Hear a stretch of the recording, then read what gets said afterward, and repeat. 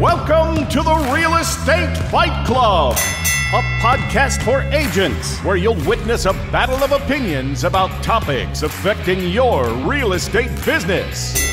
Now, always in your corner, here are your hosts, Jen Mertland and Monica Weekly.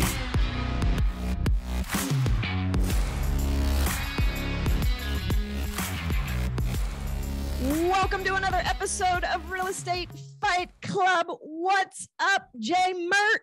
Man, this is going to be a great one. I'm excited for today. We are I'm lucky, pumped. lucky. We have a very special guest today. So I can I don't know if you and I are going to duke it out on this one. I imagine that we will. No, me and me and Tim pretty much see eye to eye. So I think you're going to be fighting us. This is what Oh, I'm afraid cool. of. Oh my gosh. Well, let's Oh. introduce our guest, Tim Harris, one half of the very popular Tim and Julie Harris.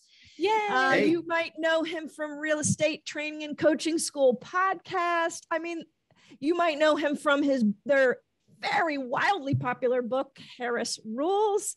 Welcome, Tim, to Real Estate Fight Club. Hey. Hey, Club, Tim. huh? Let's so let's see what you gals got. Let's get the gloves on. Yeah.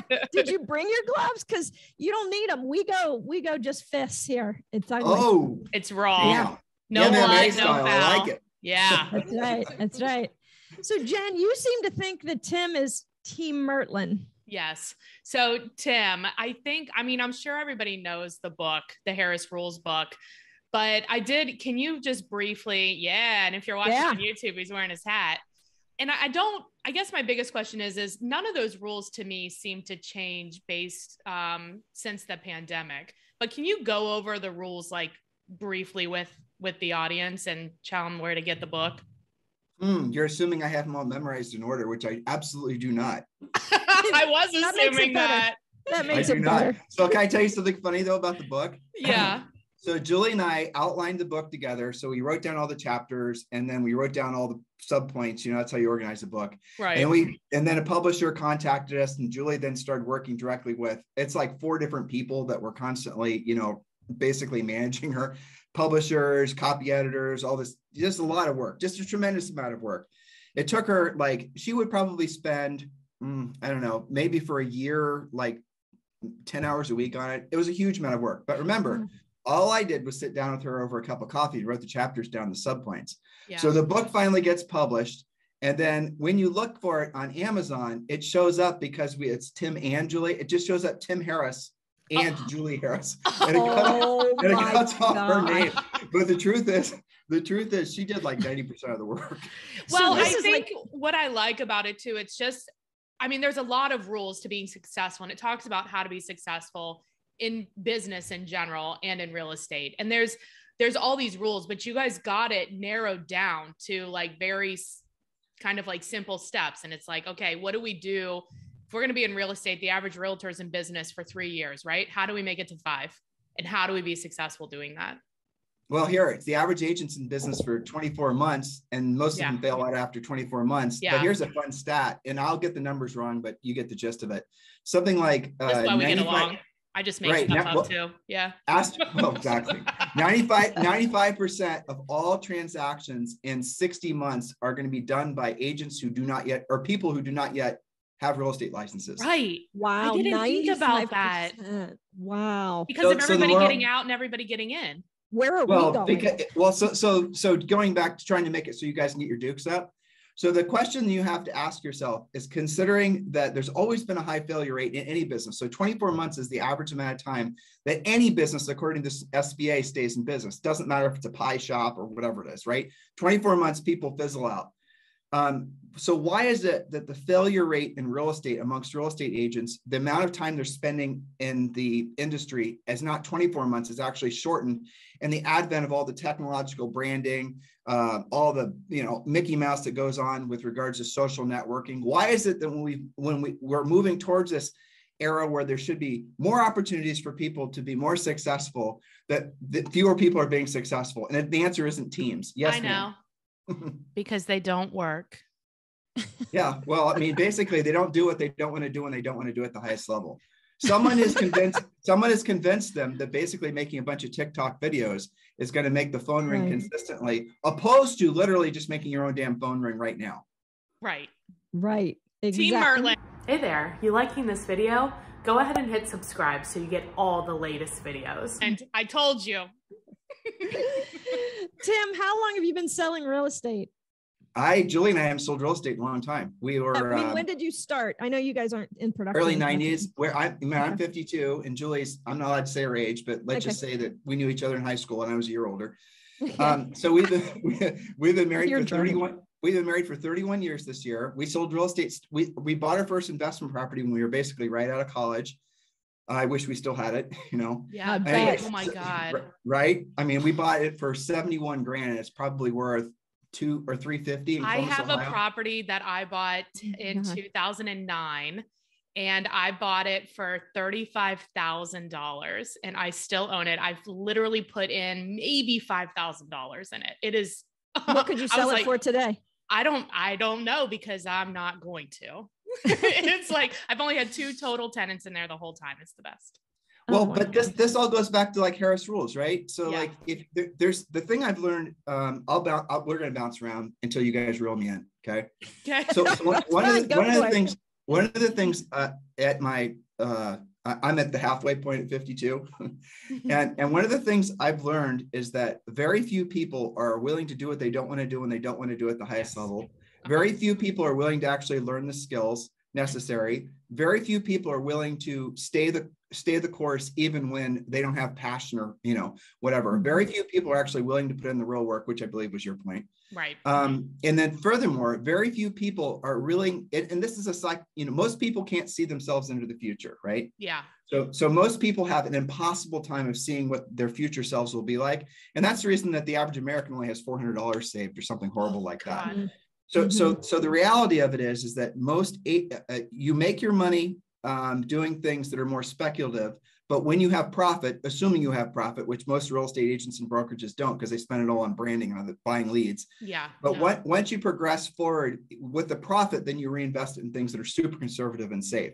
But what do agents do? They do things that are highly speculative in the front end to generate the money, Mhm. and then they don't have really much profit and left what's left over. And with the profit that's left over, they do things that are equally highly Stupid. speculative, and then they end up with nothing. Right. So- So, Exactly. the way to the way to accumulate money is the way Warren Buffett does it. You know, you got to do it. sl- Here, here's a fun fact. It what would over the last 10 years, where would you have made more money? The S&P 500 index funds are investing in uh, starting out the same amount of money uh, today till then. Uh, you know, I'm 10 years till today. Where would you have made more money? The S&P 500 or crypto? I mean, I want to say the S and P 500, but that's probably wrong. Probably crypto. Well, no, it's not because crypto Is that right? crypto went up and now it's come back down. Oh, what do most right. You'd have to Right. pull it out. Right, right, Yeah. right. right? Yeah. And most Pull it out. and most people didn't sell it. They're hodling and hoping that it's going to come back around. Got Uh, and and if any crypto people watch this, they're going to be all over what I just said and try to shish kebab me. You know, It's but okay. that's just the way. That's all But, but right, but the truth is, the S and P 500, if you invested in index funds, it's going to double basically every seven or eight years. Mhm. So when you when you make profit from your real estate business, buy what you did, buy what Jules and I have done for the last 30 years, buy rental properties, and then invest it in something as simple as the S&P uh, 500 index fund from Vanguard. Not, you know, there it is. Mhm. You do your own Yeah. homework, obviously. But right, but right, this right. But frankly, this is the reason that EXP, where is it? Yeah, there. Yeah. Or- Oh, where- here. Wherever it is. Right. this is So why we're all there. yeah, right. Well, but That's EXP right. uh, is EXP is a massive wealth accelerator because it took Julie and I buying rental properties all over. We have them in seven different states, and it took us decades, you know, to get to the point where we had X amount of passive revenue created from these rentals, most of which were paid off. We were able to surpass that in EXP revenue share inside two and a half, well, really about two years, two and a half years. That's so we're crazy. making more money off revenue share. Well, it's Yeah. it's the eighth greatest Great. wonder of the world, right? Yeah, I mean, is. It is. It is. It is. It's Nine incredible. and ten. all right all right let me reel let me reel back into a question i have for you tim because you talked about when you got started back in the 90s i think Mhm. you said tell me the like top one or two mistakes that you made as you fumbled through your early years because you have all this knowledge now and all this experience and you've packaged it up and nice in a book and a podcast but i'm quite sure that it wasn't without falling on your face a couple times so what what did you do if you're being vulnerable that you could save our listeners from making the same mistake? Wow, that's such a good question. I got such a boring answer. What is so, it? so I'll give you another Warren Buffett quote too. America loves to celebrate the comeback story, and Warren Buffett likes to celebrate the business owner that created it, that never lost it, that can continue to build on it every year. Yes. Got but to answer your and and that's aga- again, it's doing what you don't want to do and you don't want to do at the highest level. You know, we do our podcast every single day for a half hour. We have thousands of shows. Ninety percent of the time, we don't feel like doing it. We still do it. Yeah. To answer your question, I'll say the biggest mistake we made is our first year in the business, we sold 103 homes. Our second year, we did, I don't remember, it was over 100. Uh, and the third year, the after our first year, we started getting a lot of attention. National Association of Realtors, uh, Remax at the time, we started to fly to different areas. Basically, what happened was because we had broken all these records, and I think it's still a standing record, that we had a really, uh, and this was before the internet, remember? Yeah. Right. Right. So this, and it was real. The big thing was the magazine you get from National Association of Realtors, and Julie and I were featured in it. We've been, fe- you know, who cares? We had all this outsized attention, and then we became Howard Brinton stars again, probably before both your gals' time. I- I And and remember okay, good. Yeah, Hearing it about was it. Yeah. yeah. So so we are Howard Brinton stars, and then we started hanging out with other Howard Brinton stars. The other Howard Brinton stars, for the most part, were all. And this was back when the whole team concept and branding and marketing was really getting its uh, legs. So the branding and marketing stuff that you guys are that everyone's basically spending wasting frankly a lot of money on right now, that all got started back in the 90s. So Julie and I would go to these, uh, you know, top end agent events that would happen in various places in the United States, always at Ritz Carlton's, you know, which shockingly expensive back then, still. And, and so we would we'd go to these events and we'd be sitting in a room with 50 or 75 of the nation's top agents based on their volume. And all of them, with a few exceptions, all of them were leaning into oh, this marketing and branding thing. And they're rationalizing it. Well, we can get our time back. And it's better if I can form a business and I can form the bit, all these things that are saying that have become gospel nowadays. But what what Julie and I started doing that. So in our third year, we, we hired buyers agents. In our third year, we started doing some marketing and branding. And then I remember it was it, it was somewhere like April of our fourth year, if you're following along, and we're doing our taxes. May have been actually been October because we always, you know, extended. Late. Yeah. But, but I remember our accountant came over to our house and he's his name was Fred. And he sat down with us, didn't say anything. He showed us our returns for the past three years. And what he was showing us was we had more net profit our first year in the business than we did in the previous year where we were basically doing what everyone was telling us. Now, our business uh, in terms of revenue had almost doubled, but our net Mm. profit had uh, dropped. So that after Yeah. that, we made that mistake, and after and we didn't buy any rental properties that year either. So after that, Julie and I quickly realized that the path that we need to stay on is the path where we're going to be able to have enough income coming from paid off passive income sources because we didn't have we didn't want to have to be transactional our entire Right. lives. Hey guys, it's Monica here. I am so excited to introduce you to Real Estate Fight Club's newest partnership, Cyberbacker. Cyberbacker is the best in the business for virtual assistants. How do I know this? Because I am a Cyberbacker customer and I love this company. I have my favorite Frances. She is my cyberbacker, been with me for over a year. She's amazing. She makes me better. She's eager to help. She's on time. She's disciplined. She's awesome. And this company, Cyberbacker, has figured out the system from the interviewing process to find out what I need, to the interviewing process to interview several cyberbackers, to the onboarding process, to the training process. Very buttoned up, very awesome. You and I both know it's time for you to leverage. It's time for you to take that step, and Cyberbacker is a really safe, awesome solution. Make sure to mention Fight Club, and you will be getting a free gift. All right, do it. Make the call. See ya. You mm-hmm. know, You didn't want to die showing at a doorstep showing a house when you're like a hundred years old. That's like most Actually, agents' I- we- retirement plan. Well, you know, it, you're reminding me of a, a, a clubhouse that I did um, beginning of last year. I'll never forget this one. This guy who was somehow uh, connected with Julie and I from I don't know how podcast probably. He he was probably I'm guessing in his 60s, and the the topic was Would you rather be rich or would you rather be famous? You can't be both. Okay. Would you rather be rich, famous? And he easy. get- well, for me too, and for you. Okay, it's rich, right? Yeah, rich. So, rich. but, duh. Rick- Rick- but rich is free, right? Rich is where your money works for you. You no longer have to work for your money. It's simple. Rich isn't millions of dollars. Rich could just be ten thousand dollars a month coming in passively. We So live in Ohio. them. It absolutely is. I'm from Columbus, Ohio. Trust me, sister. That's I right. know. He's a fellow Buckeye. Yes. Yeah. I mean, Julie and I met at Worthington High School. Nice. yeah. Nice. All right. So, so well, actually, the alternative campus, if you guys know so, know that is. Anyway, so uh, you got me off my story. What was I telling you? The guy in Clubhouse. No. Oh, yeah, yeah. So- is rich. Thank you. So this on guy, the doorstep.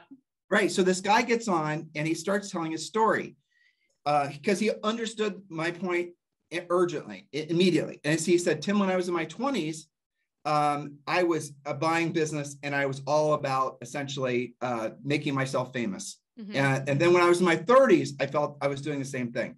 Billboards, bus benches, uh, you know, Mhm. uh, moving trucks, Mhm. all this ego, branding and marketing ego, stuff. ego, ego, ego. Mhm. Hundred percent. And then into his forties, he said. Then he starts. to- He said he started to kind of have that pivot in his mind because he realized everyone knew who he was. And he was famous, and everyone. And he was selling crap tons of houses and had this big team, and he could peacock around. And he said he began to realize the fallacy in that pursuit Mhm. because he did. He was tall hat, no cattle. We lived in Texas. That basically means you're all show and no go. Right. Yeah. You know, you walk around this pretty Stetson on that costs like fourteen hundred dollars, but you don't have any cattle. You know. Right. And anyway, so so that would you know that's that's what he was relaying. And then he said, when I got into my 50s, and then he said, now, so this is the reason I thought he was in his 60s. He said it was my biggest regret not having actually. Um, it was very gratuitous towards us. It was my biggest regret not focusing on essentially doing what you you and Julie are you know have been talking about for 20 years. Yeah. Yeah. Because it is, it's time on it's time on task over time, like consistent time on task, and that's it. Well, let me ask you this.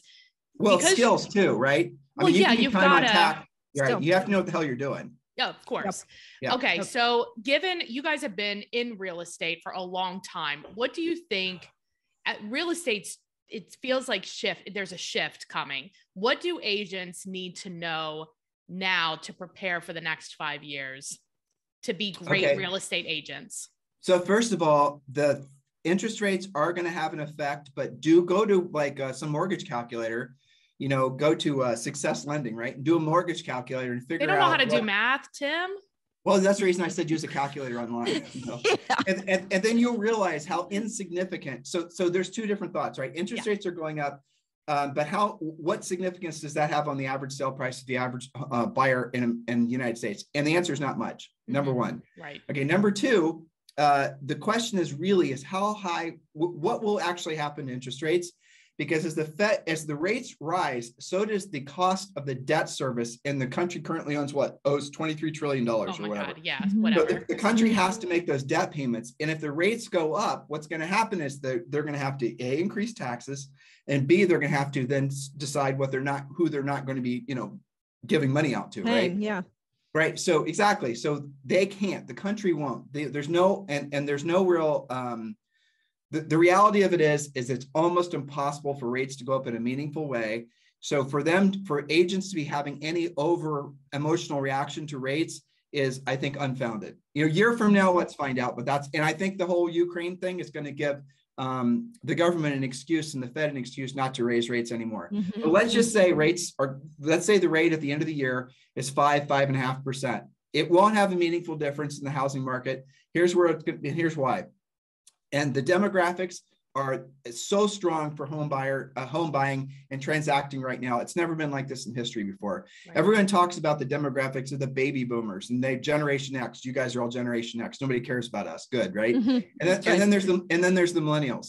There's so many more millennials than there are baby boomers and Generation X, and they're all either buying their first homes or, or they're moving up to their second homes. Right? They're in their early 40s. Their their Now have- first home is really the price of like a second or third home. It feels mm-hmm. like. I mean, they're buying like crazy priced houses. 300, 400. Yeah. Well, well, you guys you guys understand that the end at the end of the year it's projected and it's going to happen. It already some people are saying it's already true. The average price in America for a home, not medium, average, is going to be close to 500 grand. But do you think that. though that that's going to cause, and plus like the way that people are working now, it'll cause uh, a diff. Like people will buy houses differently. What do you think about that? Like, What do you mean? Like, uh, like Airbnb or partial ownership.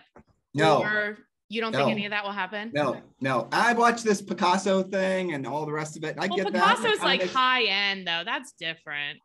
That's a timeshare, sort of, right? Exactly. That's a timeshare. That doesn't really, but like, no, they're all back when there was, were you guys in real estate when there was a housing crash before in 07, 08? Yeah. Mhm. Okay, Yeah. okay, so every time there's any kind, there's there's a faction of humanity that doesn't want that wants housing. This is gonna be really controversial, but I don't care. Wants housing to be socialized, and they don't they they don't think that there should be the. Uh, that's basically it. That there's somehow there needs to be a redistribution of how, as you know, certain people can buy, certain people can't buy, and there needs to be some kind of government oversight on how you know the whole thing. So you got to be careful when you're starting to take in um, information that's implying that the American dream is not to own a home and won't always be to own a home. What all of our goals should be is help as many people to buy homes as possible Mhm. because real estate is consistently the best wealth creator, Yep. at least in the past since the 50s. hundred and no, Mhm. even longer. It's been at Mhm. least a hundred years that it's Well, been. the- so but here's here's the real bugaboo in all of this, uh, and this is good for real estate. It's bad for everything else. Inflation. Inflation is so the average cost to build a new home. Can you guys hear that? I turned on a fan. You can. Mm-mm. Hopefully, No. okay. The average cost to build a home. it's getting a new hot in here. Take off those gloves. Exactly. The average cost to build a new. I want. I'm waiting for her to uh, talk about marketing and advertising so we can shish kebab her. yeah. Um, Yeah. talk about will. TikTok. I dare you. Okay. So so uh, so um, the average cost to build a new home in the mainland is uh, gone up 30% and it's increasing. Julie and I live in Puerto Rico. The average cost of new construction here is up 60% and increasing. Remember, this is the spring of 2022, right? right. Mhm. So what's that going to do to, to the value of resale homes if new construction is so much more expensive? It's going to pull it up, right? Yeah. Mhm. Right. So, so inflation is going to be right now, and we've been, Jules and I have been saying this for at least two years. Every single human should be buying a house on a 30 year uh, fixed rate mortgage Yes. urgently, even if they have to pay something close to 5%, Yeah. because the inflation rate is going to, is more than that by a significant margin. And arguably in real estate, it's double that. Yeah. Uh, Goldman Sachs predicted that values of homes by the end of this year in the mainland would go up uh, 16%. They've already gone up by 16%. So you're looking for houses to hypothetically go up by 20%. Next year, they're going to inflate. You guys can call it appreciation, but they're going to inflate by another, who knows, four to 10%. So if you've got a mortgage that's even 5%, the int- the the house is going to increase in value more than what your total holding cost of that house is. You're living for free.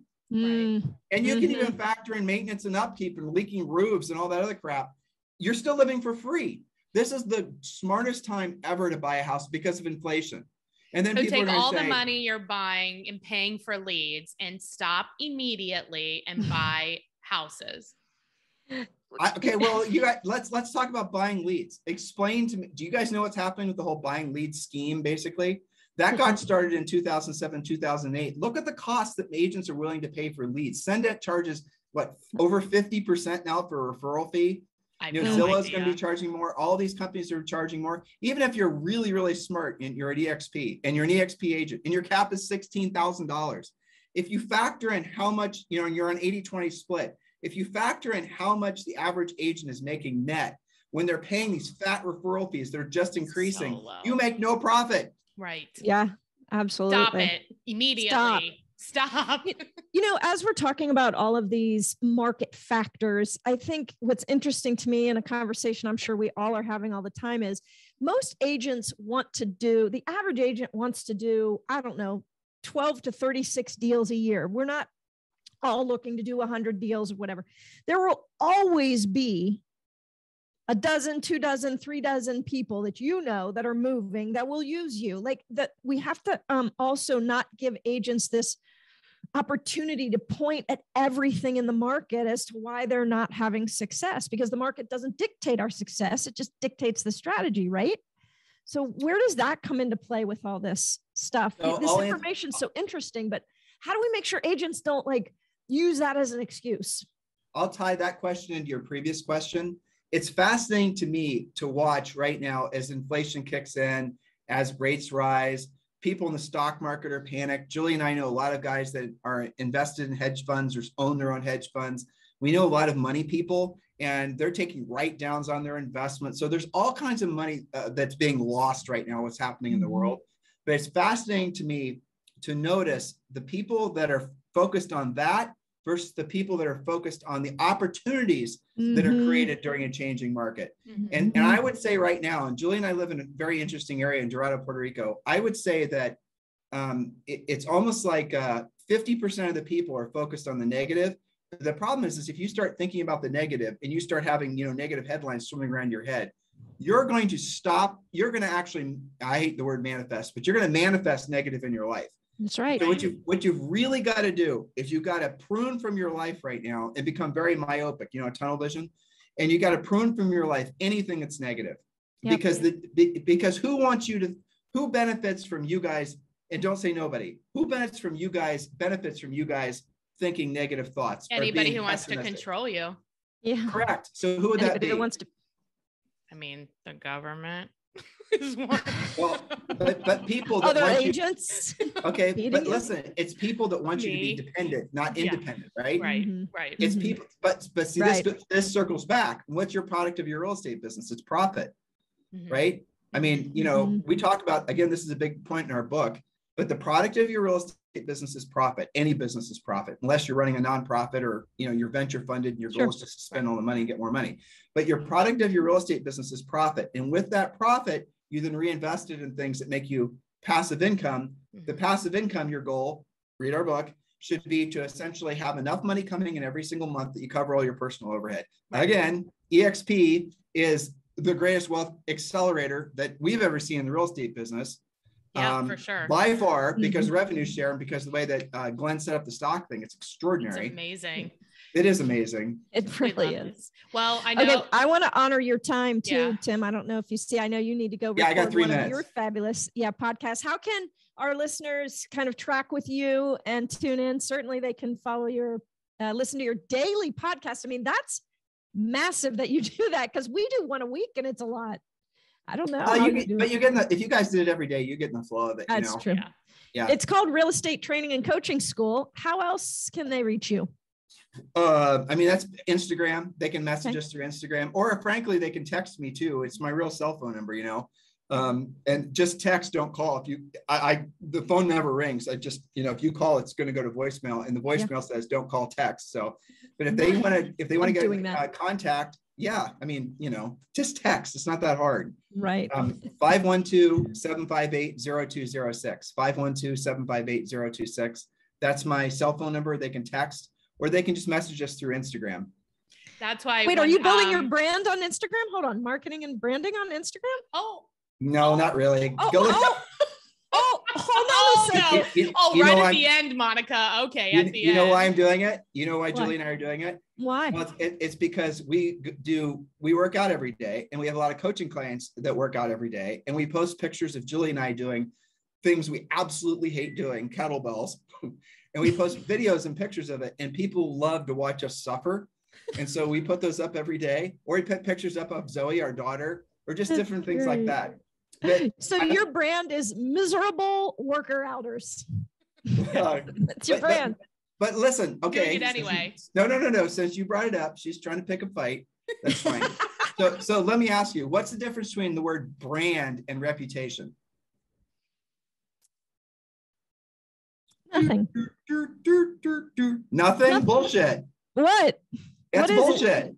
What is Because it? reputation is something you earn. A brand is something that people tell you you can buy, and in doing so, you'll have a reputation. Now, what people are trying. I, was. I, I understand what you're saying. I do not. I coach to that you cannot force your brand. That you must build your brand through action, and that is in, in essence reputation. So I think that's why I answered it that way because that's how I look at brand. Okay, don't I, can't argue it with that. That makes sense. Okay. No, that makes sense. You're you're you're saying it honestly, okay? But the Mhm. reality of it is, is you can spend as much money as you want to, trying to fool the world into thinking that you're successful when you're not. That is basically Instagram, right? Yeah. And you can spend all this money, all this effort trying to convince people some that you're this thing. You're trying to portray yourself to be this thing. All the while, you're just essentially a marketer, right? That's what Right. most branding is. Would we agree? Right. Yeah. Agreed. Okay. Would you think, and we're all from Ohio, so we all have the same values. Do you think that's really ethical? No. Convincing people No. that you're something. Yeah, neither do I. No, it's a So the- false front. Yeah. Yeah, it's Yeah. a lie. So Yeah. I think your brand should be dictated by your people. It should be by authentic. your you go, you and just said authenticity. you just okay now. See, we're in agreement. So I just brought you guys together. It's peace. Aw. Oh, We Okay, don't even so have you- a podcast anymore now. Do you guys, do you guys know who Charlie Munger is? I don't No. think so. Okay, Charlie Munger. This is the third Warren Buffett tie-in. He's Warren Buffett's partner. And oh yes. said- okay. Yep. He said, he said, don't try to make yourself famous. Try to make the results you get for other people famous. In other words, Yes. don't focus on your personal brand. Focus on the results you get for other people. That's called your reputation. So if you solve a bunch of other people's problems, in this case, it's helping them buy or sell real estate, right? Mhm. If you solve those problems over time, you're going to have a great reputation. You Mhm. can't skip the step of knowing what to do and the people that you're helping by trying to. And this is this is the lie that's being told. People are being told to, you know, go and create a bunch of TikTok videos and create a bunch of Instagram this is and this is the other things. And eventually, people are going to be fooled into believing that you're the ultimate problem solver. All the while, that's a lie, unless you're Mhm. obviously doing it. Right. Did you see what Will Smith did last night at the um, Oscars? I don't watch the Oscars. You couldn't pay me to watch the Oscars, but I listened to Ben Shapiro today and I heard him talking about it. Yes. Yes. And so to me, I wonder how that's going to affect his brand because he has built this brand on um, kind of everything but that. It's been interesting. It'll be interesting. but see, see, you're you're you're you're look. I don't disagree with the premise of what you're saying. What I'm saying is, Monica, people younger than us, they don't understand because they've grown up in this world where everything's digital. Like our daughter's eight years old, right? So Mm-hmm. for her to understand, there's a reputation is something you earn. Brand is something that people selling branding telling you that you can buy that will replace the need to actually earn the right to have a good reputation. That's all I'm saying. Got and it. by the So- way, I think Will Smith's reputation will actually be better because in essence he was uh, standing up for his wife. that that's i think you're 100% right it's a conversation we had this morning yeah well this has been amazing Thank I've- you. Good. I've uh, i feel like i've um, had a waterfall of information on me thank you for that it's amazing and i know our listeners are going to love this episode so tim thank you You're welcome. appreciate it Thanks, pleasure. Tim. All right. all right Go Have a good Buckeyes. See you guys later. Bye. Bye. Bye.